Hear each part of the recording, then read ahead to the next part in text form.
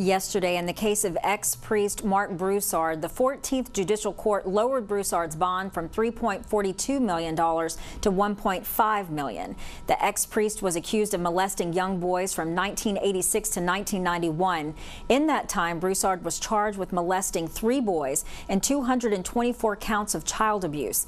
In the case of the third victim's accusations, prosecutor Cynthia Killingsworth said that 30 of the charges involving one of the children have been dropped due to being being too old to prosecute.